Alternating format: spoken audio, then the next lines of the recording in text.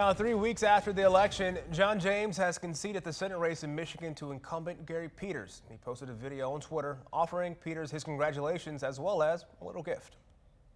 I believe it's the right thing to do for me to congratulate Senator Peters.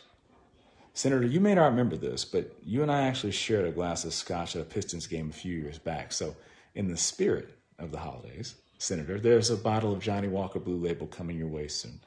Congratulations, sir. James did not say what he plans to do next, only that he plans to keep fighting for Michigan's future.